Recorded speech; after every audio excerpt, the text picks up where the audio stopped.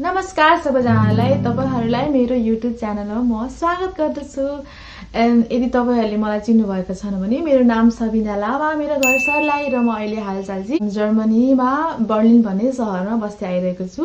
र म चाहिँ नर्मली चाहिँ यो च्यानलमा जर्मनी कसरी आउने भिजाहरूको टाइप्स अनि काम कसरी गर्ने आउसपिल्डुङ आउपेयर एफएसए अनि नर्सिङ र अहिले चाहिँ कहिलेकाहीँ चाहिँ म ट्राभल भिडियोजहरू पनि बनाउने गर्दछु। र आज चाहिँ मैले नयाँ भिडियो लिएर आएको छु र यसमा चाहिँ म तपाईँहरूले मलाई फ्रिक्वेन्टली सोध्नुभएको क्वेसनहरूको चाहिँ एन्सर दिनेछु। तपाईँहरू चाहिँ मलाई मेरो कमेन्ट्समा अनि मेरो फेसबुक पेजमा पनि र इन्स्टाग्राममा पनि मलाई धेरैजना लेख्नु भएको क्वेसनहरू चाहिँ छानेर लिएर आएको छु। किनकि धेरैजनाले मलाई सेम क्वेसन सोध्नुहुन्छ र म सधैँ एउटै एन्सर दिँदाखेरि चाहिँ मलाई अलिक गाह्रो भयो। त्यही भएर चाहिँ मैले यो भिडियो बनाएर चाहिँ बरु सबैजनालाई चाहिँ सेयर गर्न सकिन्छ नि त। त्यही भएर चाहिँ मैले लिएर आएको छु। आज चाहिँ तपाईँलाई भिडियो मनपर्नेछ। सुरुमा चाहिँ मेरो च्यानललाई सब्सक्राइब गर्न नभुल्नु होला। ल अब हामी स्टार्ट गर्नेछौँ।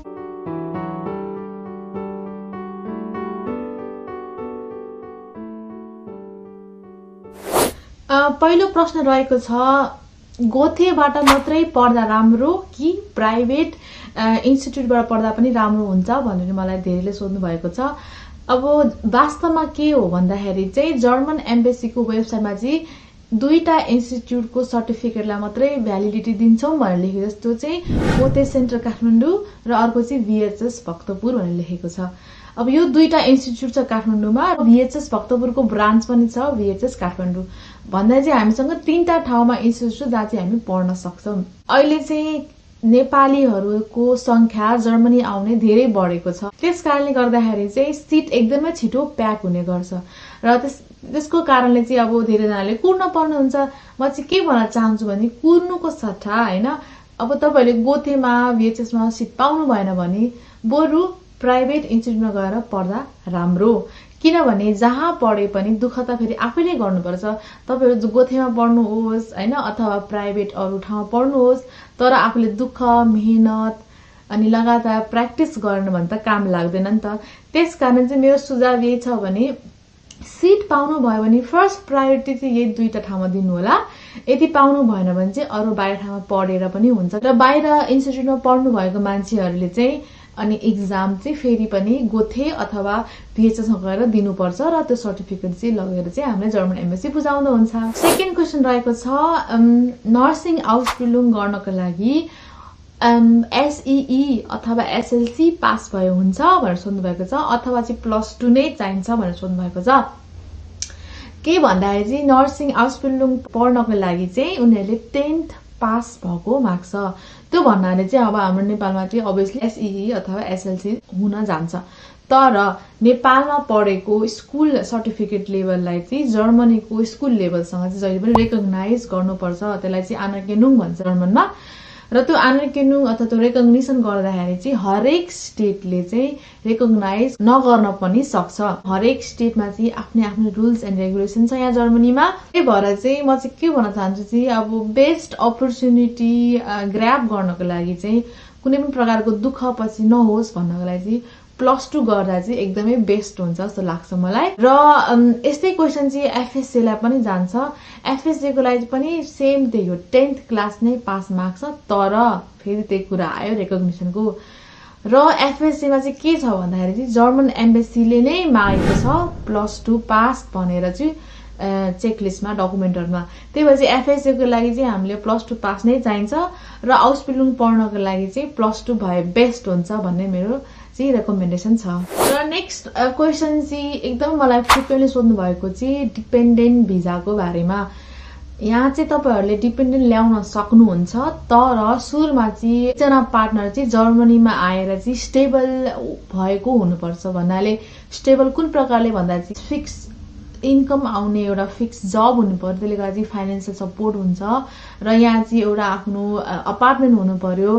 होइन त्यसपछि मात्रै डिपेन्डेन्ट भिजामा बोलाउन सकिन्छ। र जब पनि तपाईँहरूले चाहिँ आफ्नो ट्रायल पिरियड चाहिँ पास भइसकेको हुनुपर्छ। चाहिँ नर्मली चाहिँ छ महिना हुन्छ जर्मनीमा यहाँ होइन। जस ट्रायल पिरियड पास भएको सिक्स मन्थपछि अनि राम्रो फिक्स जब राम्रो इन्कम भएको र यहाँनिर एउटा अपार्टमेन्ट भएपछि मात्रै तपाईँहरूले चाहिँ आफ्नो पार्टनरलाई अथवा आफ्नो बच्चा बच्चालाई पनि बोलाउन सक्नुहुन्छ। तर नेपालबाट नै सँगै चाहिँ आउन सकिँदैन। इभन आउसपिल्डुङमा पनि मिल्छ भनेर सोध्नुभएको छ।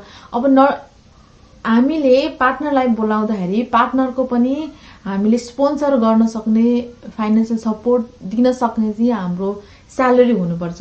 र हाउस बिल्डिङमा त के हुन्छ भने आठ नौ सय आउँछ पैसा होइन? त्यो तपाईँहरूलाई एकजनालाई मात्रै धान्छ नि त। त्यस कारणले हाउस बिल्डिङ गर्दा पनि मिल्दैन। तर हाउस बिल्डिङ तपाईँहरूले पढिसकेपछि जब पाइसकेपछि चाहिँ छ महिनापछि चाहिँ बोलाउन सक्नुहुन्छ। तर हाउस बिल्डिङ गर्न आउँदाखेरि ओपेरमा आउँदाखेरि अथवा एफएससीमा आउँदाखेरि चाहिँ तपाईँहरूले चाहिँ ल्याउन सक्नु हुँदैन र नेक्स्ट क्वेसन रहेको छ नर्सिङ हाउस बिल्डिङ पढ्नको लागि चाहिँ प्लस टूमा साइन्स नै चाहिन्छ भनेर सोध्नु भएको छ। नर्मली चाहिँ यहाँ पास नर्मली चाहिँ यहाँ हाउस बिल्डिङ पढ्नको लागि चाहिँ भनिहालेँ मैले दस पास हुनुपर्छ। र त्यो दस पास चाहिँ अब नेपालको रेकगनाइज नहुने कारणले चाहिँ बाह्रसँग पढ्दा राम्रो हुन्छ भन्ने कुरा हो। तर साइन्स नै पढेको चाहिँ हुनु पर्दैन। तपाईँले जुनै पनि फ्याकल्टी पढ्नुहोस् तपाईँले यहाँ आएर चाहिँ नर्सिङ हस्पिटल पढ्न सक्नुहुन्छ। क्वेसन रहेको छ आजकल चाहिँ किन धेरै औपेयर र एफएससी भिजा रिजेक्ट भइरहेको छ? भनेर सोध्नु भएको छ होइन? अब मलाई पनि एक्ज्याक्ट त एन्सर थाहा छैन तर धेरैजनाहरूले मेरो भ्युवर्सहरूले चाहिँ मसँग अब कुरा गर्दै अप्लाई गर्नुभएको थियो। उहाँहरूको रिजेक्ट पनि भयो र रिजेक्ट भएको रिजनहरू चाहिँ उहाँहरूले सुना सुनाउनु पनि भएको थियो मलाई होइन? र धेरै कुराहरूमा हेर्दाखेरि चाहिँ अब दुवै एफएससी र औपेर भिजा चाहिँ उहाँहरू उहाँहरूको रिजेक्ट हुने कारण चाहिँ कतिजनालाई चाहिँ ल्याङ्ग्वेज पुगेन भनेर रिजन दिनुभएको छ। ल्याङ्ग्वेज पनि कतिले अब बी वान पढेर जानुभएको छ। बी टू पनि लिएर जानुभएको मान्छे रिजेक्ट पनि भएको सुनेको छु। र अर्को चाहिँ अब कोही चाहिँ ओभर क्वालिफाइड जस्तै अब मैले मेरो भिडियोमा चाहिँ औपेरमा आउनुहोस् एफएसएमा आउनुहोस् सस्तो उयो छ भनेर चाहिँ इभन नर्सेसहरूलाई पनि मैले रेकमेन्डेसन दिइरहेको थिएँ र आजकल जब अनि एउटा बहिनी जो चाहिँ नर्स नै हुनुहुन्थ्यो उहाँले पनि अब एफएससी अप्लाई गर्दाखेरि चाहिँ ओभर क्वालिफाइड भयो भने भन्नुभएको छ होइन? उहाँले चाहिँ धेरै प्रकारको रिजन दिनुभएको छ। त्यो फिक्स नै हुँदैन कसलाई के हुन्छ जस्तै औपेरमा पनि अब के भन्नुभएको छ भने तपाईँहरूको चाहिँ भ्यालिड रिजन भएन किन चाहिँ औपेर गर्न जान लानुभएको अब उतै गएर बस्ने प्लान देखियो होइन? अनि यहाँ एक वर्ष बसेर नेपालमा आउँदा चाहिँ त्यो औपेरले चाहिँ किन औपेर इयर चाहिँ किन इम्पोर्टेन्ट छ तपाईँहरूको लागि? त्यो कुरा चाहिँ जब हामीले उहाँलाई त्यो बुझाउने एन्सर दिँदैनौँ नि त्यसपछि चाहिँ रिजेक्ट हुने कारणमा खेलाएको छु। आजकल चाहिँ लगभग टु इयर्स नै भइसक्यो। यो दुवै भिजालाई चाहिँ एकदमै कम रेटमा दिने गरेको छ। म चाहिँ के भन्न चाहन्छु भने अब थाहै छैन के हुन्छ हुन्छ होइन। कति मलाई लाग्छ अलमोस्ट नाइन्टी पर्सेन्ट जतिजनाको चाहिँ भिजा रिजेक्ट नै भइरहेको सुनेको छु मैले। तर म चाहिँ के भन्न चाहन्छु भने हाउस पिल्नु भिजामा ट्राई गर्नुहोस्। हाउस पिल्नु भने यहाँ पढ्न आउनु तपाईँ थ्री इयर्सको कोर्स अनि पैसा पनि दिन्छ त्यस कारण तपाईँलाई ब्लक अकाउन्ट पनि बनाउनु पर्दैन। अलिक सस्तोमा नै हुन्छ होइन? तर ल्याङ्ग्वेज चाहिँ त्यही हो बी वानसम्म अनि नर्सिङ पढ्नुभयो भने चाहिँ बी टूसम्म चाहिन्छ। र मेरो सजेसन चाहिँ त्यही हो हाउस बिल्डिङ अप्लाई गर्नुहोस् बरु स्टुडेन्ट भिजामा अप्लाई गर्नुहोस्। यो दुवै भिजाहरू चाहिँ दिइरहेको छ। तर औपेर अनि एफएससी भिजा चाहिँ एकदमै थोरै रेट छ भिजा दिने। तपाईँलाई त्यही भन्न चाहन्छु कि हाउस बिल्डिङ गर्न आउनुहोस्। किनभने औपेर एफएससी पछि पनि गर्ने त आखिर धेरैजनाले हाउस बिल्डिङ नै हो नि त। त्यही भएर हाउस बिल्डिङमा बरु ल्याङ्ग्वेज पनि सिक्नु नेपालमै अनि त्यसपछि अप्लाई गरेर आउनुहोस्। यदि तपाईँहरू चाहिँ नर्सिङ नेपालमा पढिसक्नु भएको छ भने चाहिँ अब au pair FSC visa rate कम भएको कारणले चाहिँ दुइटै रुट छोडेर चाहिँ बरु रेकग्निसन गर्नको लागि चाहिँ डिरेक्टली आनरेकेनुङ अप्लाई चाहिँ गर्न गर्ने भिजामा चाहिँ आउनुहोस्। मैले यसको बारेमा पनि भिडियो बनाइसकेको छु। यदि तपाईँहरूलाई चाहिँ रेकग्नेसन कसरी गर्ने अझै सपोर्ट चाहिन्छ भने मलाई डिरेक्टली मेरो फेसबुक पेज अथवा इन्स्टाग्राममा चाहिँ मलाई मेसेज गर्नुहोस् म एकदम एक्टिभली रिप्लाई गर्न ट्राई गर्छु। नेक्स्ट क्वेसन रहेको छ हाउस बिल्डिङ गर्दाखेरि खाना बस्न पुग्छ भनेर सोध्नु भएको छ। सो हाउस बिल्डिङ भनेको चाहिँ तपाईँहरूले पढ्दै होइन कमाइ हुने तरिका। भने तपाईँहरू थ्री इयर्सको भोकेसनल ट्रेनिङ गर्नुहुन्छ र यो ट्रेनिङ गर्दा गर्दै तपाईँहरू जहाँ पढ्नुहुन्छ नि त्यही स्कुलले चाहिँ तपाईँहरूलाई पैसा पनि दिन्छ स्यालेरी र यो चाहिँ अब डिपेन्ड गर्छ तपाईँले कुन खालको पढ्दै हुनुहुन्छ। सबैमा चाहिँ धेरै पैसा दिँदैन। नर्मली धेरै पैसा दिने फिल्ड भनेको चाहिँ नर्सिङ तपाईँले जब नर्सिङ बिल्डिङ गर्नुहुन्छ plus one thousand euro without tax deduction होइन? ट्याक्स नकाटिकन चाहिँ तपाईँले वान थाउजन्ड युरोसम्म चाहिँ कमाउन सक्नुहुन्छ र यो चाहिँ काटकुट गरेर I think I don't know exact seven hundred eight hundred euro आउन सक्छ होइन? र यति पैसाले चाहिँ तपाईँहरूलाई चाहिँ खान बस्न पुग्छ। नेपालमा चाहिँ एक्स्ट्रा तपाईँहरूले उल्टे बाबालाई पठाउन चाहिँ सक्नु हुँदैन होइन? यति सोचेर चाहिँ आउनु होला भन्नु धेरैजनाले सोध्नु भएको छ। र जर्मनीमा चाहिँ नर्सिङ पढ्नको लागि चाहिँ जर्मन ल्याङ्ग्वेज नै चाहिन्छ भनेर सोध्नुभएको छ। जर्मनीमा चाहिँ नर्सिङ पढ्नको लागि चाहिँ जर्मन ल्याङ्ग्वेज ल्याङ्ग्वेज नै चाहिन्छ। किनभने हामी त लास्टमा गएर बिरामीहरूलाई चाहिँ हेर्नुपर्छ। अनि बिरामीहरू सबैजना जर्मन बोल्छ त्यस कारण चाहिँ पढाइ चाहिँ जर्मनमा नै हुन्छ। क्वेसन रहेको छ जर्मनी कसरी आउने भनेर मलाई धेरैजना एकैचोटि सोध्नुहुन्छ। यो त एकदम भास्ट टपिक हो नि त। किनभने हामीसँग धेरै प्रकारको चाहिँ भिजाजहरू छ। त्यो चाहिँ तपाईँले जर्मन एम्बेसीको वेबसाइटमा गएर हेर्नु पनि सक्नुहुन्छ। एउटा स्टुडेन्ट भिजा होइन अर्को बिल्डिङ भिजा अर्को एफएससी भिजा अर्को औपेर भिजा अर्को फ्यामिली रियुनियन भिजा अर्को भनेको टुरिस्ट भिजा होइन र अर्को रहेको छ कुक भिजा र अर्को चाहिँ तपाईँले ट्रेनिङ अथवा कुनै इन्टर्नसिप गर्न पनि आउन सक्नुहुन्छ र अर्को चाहिँ ल्याङ्ग्वेज भिजा पनि रहेको छ। र यो सबै भिजाहरू एकदम धेरै भास अझै भित्र डिपमा जानुपर्छ। म छिटै पनि यो सम्बन्धी फेरि पनि म नयाँ भिडियो लिएर आउने छु नेक्स्ट भिडियो चाहिँ म टाइप्स अफ भिजा कसरी जर्मनी आउन सकिन्छ भन्ने चाहिँ म छिटो लिएर आउनेछु। र लास्ट क्वेसन रहेको छ खर्च कति लाग्छ भन्नुहुन्छ होइन? तपाईँहरूले आफै अप्लाई गर्नुभयो भने चाहिँ थोरै लाग्छ। सुरुमा चाहिँ अब ल्याङ्ग्वेज पढ्न पनि खर्च आजकल अब एकदम महँगो छ। एउटा कोर्स पढ्नको लागि मिनिमम फिफ्टिन थाउजन्ड लाग्छ नेपाली र प्लस त्यही अनुसार इक्जाम पनि दिँदा महँगो नै छ गोथेमा अथवा इक्जाम दिनुभयो भने। यी सबै गरेर चाहिँ तपाईँले ए वानदेखि बिटुसम्म पढ्नुभयो भने चाहिँ मलाई लाग्छ अलमोस्ट वान लाख चाहिँ लाग्छ तपाईँलाई ल्याङ्ग्वेज मात्रै पढ्नको लागि होइन? अनि त्यसपछि अर्को कुरा आउँछ कुन भिजामा आउने होइन? जस्तै औपेयर र एफएससी भिजामा आउनको लागि चाहिँ तपाईँहरूलाई ब्लक्ड अकाउन्ट चाहिँदैन। त्यही भएर खर्च पनि थोरै जान्छ।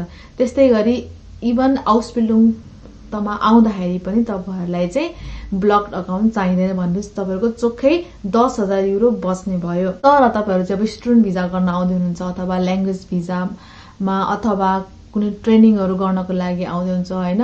अथवा इभन नर्सिङ रेकग्नेसन गर्नेको गर्ने प्रोसेसमा पढ्न आउँदै हुनुहुन्छ भने एक बेलामा चाहिँ तपाईँलाई चाहिँ ब्लक्ड अकाउन्ट चाहिन्छ भने चाहिँ एक वर्षको तपाईँले खर्च चाहिँ नेपालबाट नै लिएर आउनुपर्छ। एउटा ब्याङ्क अकाउन्ट जो चाहिँ ब्लक्ड बनाएको हुन्छ भने तपाईँले एभ्री महिना चाहिँ अलिअलि पैसा मात्रै झिक्न पाउनुहुन्छ। तपाईँ नर्मली अरू देशमा भनिन्छ नि त ब्याङ्क अकाउन्ट सो गर्ने अनि त्यति बेलामा झिक्ने। तर यो जर्मनी चाहिँ मिल्दैन। तपाईँले एभ्री महिना चाहिँ बाह्र महिनामा अलिअलि गरेर चाहिँ दस हजार युरो चाहिँ अल टुगेदर चाहिँ वर्षभित्रमा चाहिँ झिक्न सक्नुहुन्छ। यो चाहिँ दस हजार युरो भयो चाहिँ लगभग तेह्र लाखसम्म पर्न जान्छ। तर यति बुझ्नुहोस् कि यो तेह्र लाख चाहिँ तपाईँहरूले आफ्नो खर्चमा लिएर आउनुभएको नि त। जस्तै स्टुडेन्ट भिजाहरूमा आउनुभयो भने तपाईँहरूले पार्ट टाइम काम गर्न सक्नुहुन्छ यहाँ आएर र त्यो ल्याउनु भएको पैसा सेभ पनि गर्न सक्नुहुन्छ नि त। अरू कन्ट्री हेरिकन चाहिँ जर्मनी आउन चाहिँ सस्तो नै हो जस्तो लाग्छ मलाई। स्टुडेन्ट भिजामा आउनुभयो भने युनिभर्सिटीको फी लाग्दैन। त्यही सेमिस्टर वाइज अलिअलि मलाई छ छ महिनामा थ्री हन्ड्रेड समथिङ तिर्नुपर्छ। त्यो भने त केही पनि होइन नि त। र यो ब्लक अकाउन्ट पनि तपाईँहरूले आफ्नो लागि युज गर्ने कसैलाई दिने होइन युनिभर्सिटीलाई पे गर्ने होइन। र बचाउन पनि सक्नुहुन्छ। यदि तपाईँले एक्स्ट्रा यहाँ काम गर्न पाउनुभयो भने। हस् त आजको लागि यति नै। मैले सकेसम्म मैले क्वेसनहरू चाहिँ इन्क्लुड गर्न खोजेँ। मलाई एकदमै धेरै क्वेसनहरू छ जुन चाहिँ मैले अब एन्सर दिनलाई एकदमै लामो लेन्दी बनाउनु मन थिएन होइन?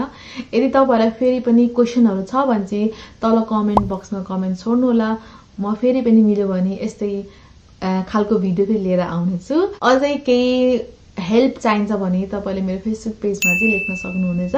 म चाहिँ त्यहाँनिर तपाईँलाई रिप्लाई गर्नेछु। हस् त राम्ररी बस्नु होला बाई